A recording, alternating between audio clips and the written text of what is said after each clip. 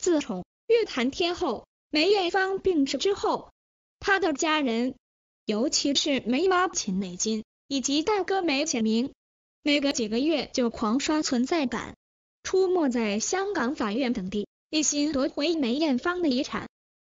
两人可谓屡败屡战，网友都被他们感动，封他们为遗产界的寇。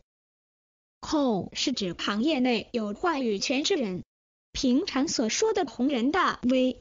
此处网友有讽刺之意。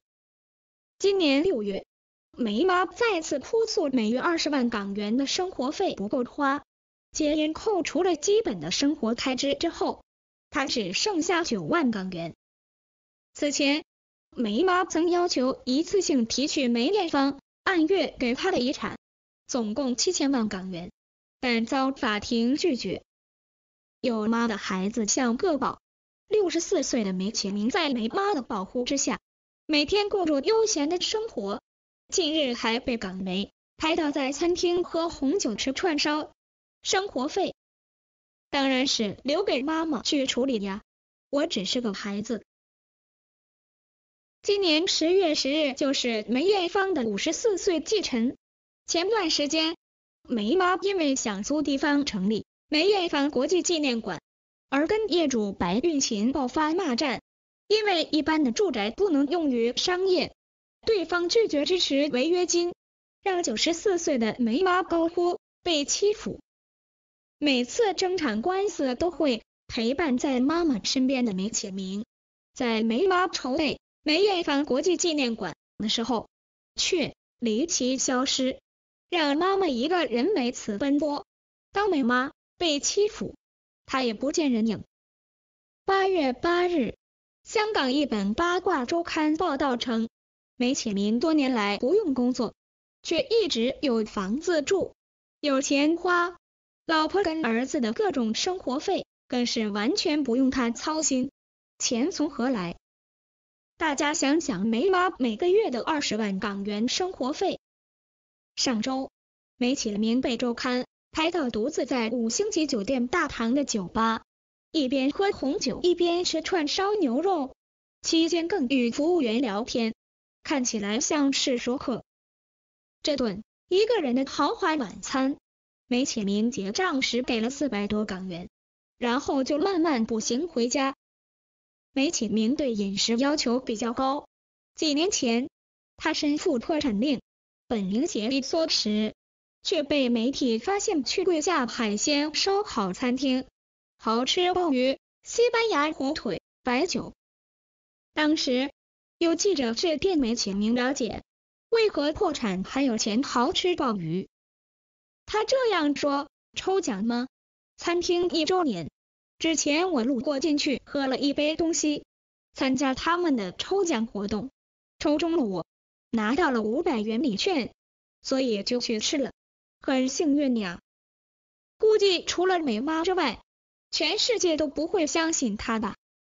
另外，一个月前，梅妈与梅启明去茶楼吃点心，梅妈先到，叫好了一桌的点心，然后梅启明山现身，吃完。结账的人自然是梅妈，这样的儿子实在太感人。二零一二年梅妈被颁破产令时，根据法律，每月十二万港元的生活费需由破产信托人分配。经分配后，梅妈的生活费每月剩余三万元，要将司机与佣人辞退。当时，梅妈曾向法庭。申请要求取回十二万元生活费，还说出京剧每月只得三万元，挨得好辛苦。法官拒绝梅妈申请的同时，还指出：“你说很辛苦，你每个月有三万多港元都说辛苦，香港有几百万人比你更辛苦。”二零一六年四月，梅妈的破产令解除，生活费马上恢复到每月十二万港元。之后，他声称日子难过，要求遗产信托基金加零用钱。法院又再为他增加至二十万港元。每个月二十万港元的生活费，对于一个老人家而言，其实一点都不少。但梅妈除了满足自己的生活，还要照顾儿子梅启明一家三口。梅启明与太太长期失业，二十万就有点紧张了。梅妈每个月领取二十万元生活费，到她百年归老之后，信托基金就会将剩余的钱捐给慈善团体。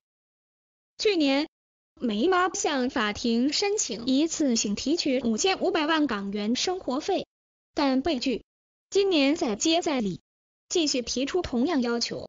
申请在现存七千五百万港元的信托基金资产中提取七千一百万港元，再遭法庭拒绝。